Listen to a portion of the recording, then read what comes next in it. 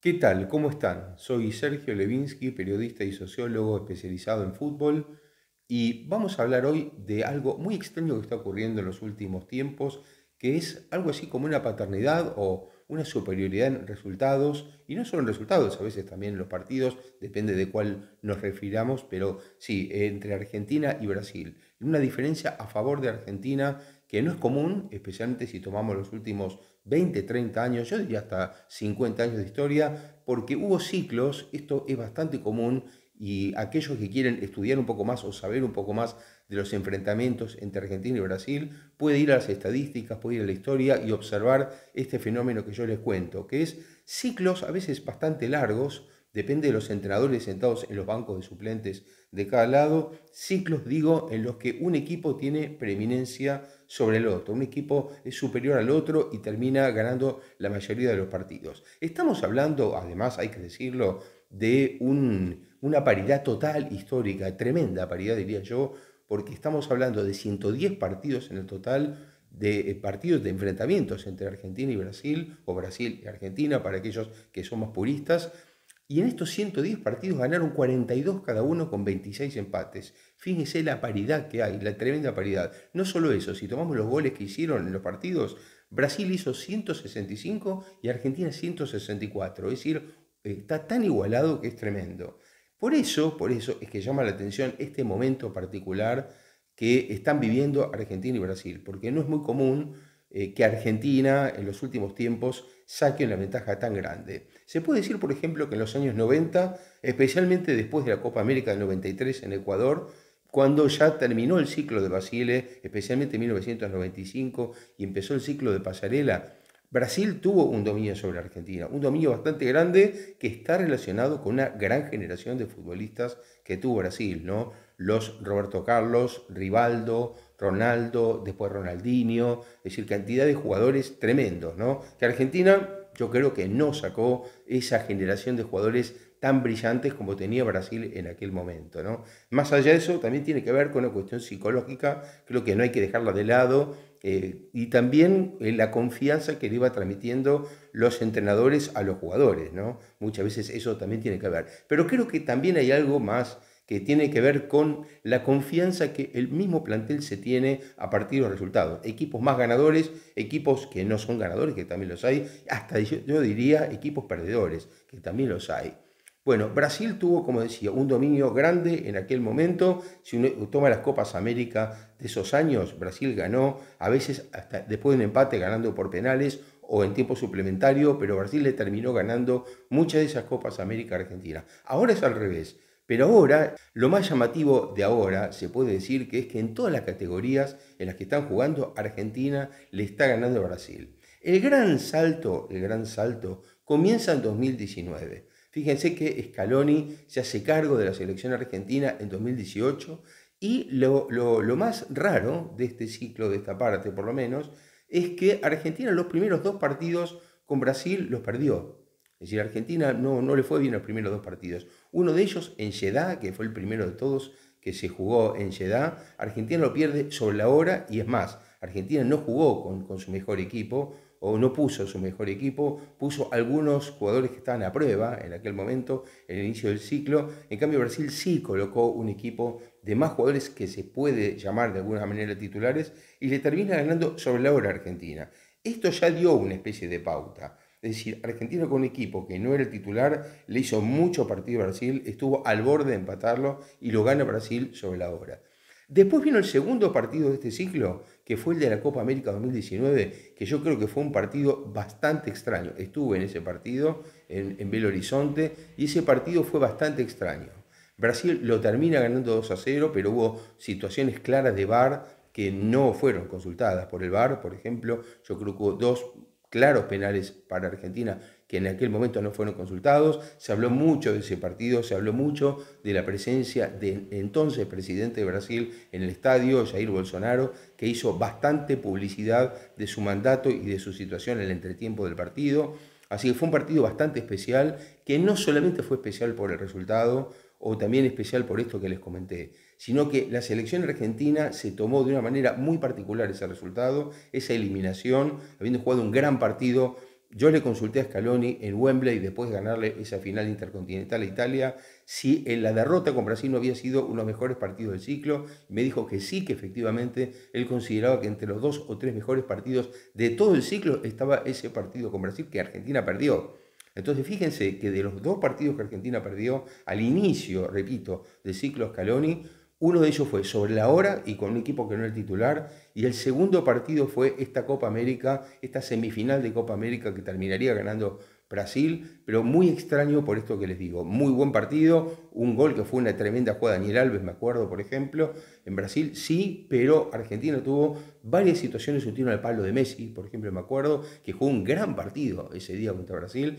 Y esa sensación de injusticia, a eso voy, esa sensación de injusticia va a determinar un cambio de actitud muy importante, especialmente en Messi, pero también después en muchos otros jugadores.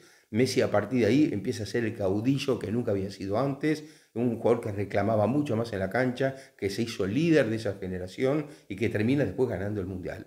Bueno, hasta ahí eran los partidos que Argentina había perdido. Y a partir de allí comienza un cambio muy fuerte, un cambio muy fuerte que termina con algunos éxitos realmente muy importantes, pero el gran salto va a ser dos años después en la segunda Copa América que se juega en Brasil, que en realidad se iba a jugar en Argentina y que por la pandemia se trasladó a Brasil.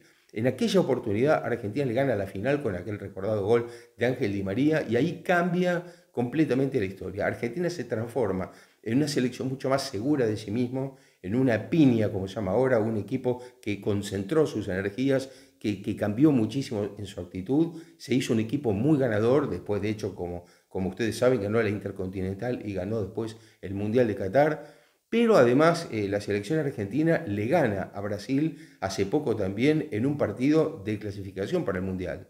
Para el próximo Mundial 2026, Argentina le gana por primera vez en Maracaná a Brasil un partido de clasificación. A Brasil nunca había perdido como local un partido en toda la historia de la clasificación a mundiales, así que Argentina le gana con el recordado gol de eh, Otamendi de cabeza. Y de ahí este, es que construye todo esto que estamos hablando, de una serie de éxitos que, como les reitero, fue el de la Copa América, la final. Estamos hablando de un partido histórico como es este del gol de Otamendi, pero también ahora se sumaron otros dos partidos, otras dos categorías porque Argentina le ganó a Brasil también en cuartos de final de Mundial Sub-17 3 a 0, en un muy buen partido que también se juega mucho, con dos generaciones de futbolistas realmente muy buenas. Bueno, Argentina tiene jugadores que prometen y que algunos de ellos hasta podrían llegar a jugar el Mundial 2026. Y ahora se suma el cuarto, que también era un partido que si uno va a las estadísticas, seguramente con el paso del tiempo va a decir, bueno, pero era un cuadrangular para ir a un Juego Olímpico. Sí, claro, pero era la última fecha de ese cuadrangular y Brasil con el empate iba a los Juegos Olímpicos de París. Además, no solamente a los Juegos Olímpicos de París, sino que Brasil es el vigente campeón olímpico, porque Brasil ganó las dos últimas medallas doradas olímpicas. Ganó la de Río de Janeiro 2016, que nunca había ganado antes una medalla dorada olímpica, y ganó en 2020, que se jugó en 2021 por la pandemia en Tokio, la segunda medalla consecutiva. Bueno, ahora iba camino a París a buscar la tercera, ni siquiera va a poder jugarla porque Argentina lo dejó afuera, ganándole 1-0, faltando 12 minutos con un gol de un prometedor delantero como es Gundú. Así que de esta forma estamos hablando de clasificación para el Mundial, Copa América en Brasil, eh, cuadrangular para ir a los Juegos Olímpicos y cuartos de final de sub-17 para ir a una semifinal. Es decir, categorías diferentes, situaciones diferentes, casi todas ellas decisivas y creo que esto marca, creo yo, otra vez lo que les decía del tema psicológico de los ciclos que Brasil y Argentina han tenido. Así como Brasil dominó en los 90, se puede decir de, de 1995 aproximadamente hasta 2008-2009, yo creo que después de 2010 empezó a haber una paridad ya con Sabela de técnico en Argentina, un poquito antes con Batista casi no hubo partidos, pero desde Sabela en adelante con Martino, con Bausa ya menos, porque se perdió duramente un partido, pero Bausa habló muy poco, lo mismo que San Paoli. Claro, se puede hablar muy poco de ciclos cuando en Argentina hubo tanto cambio de técnico. Brasil también ahora tuvo, eh, creo yo, cambio de técnico y eh, esa es una situación muy caótica que complica mucho. Pero yo creo que Brasil está atravesando una etapa parecida a la que atravesó Argentina hasta que ganó el Mundial de Qatar, o yo diría que tal vez un poco antes, hasta 2021, cuando ganó la Copa América.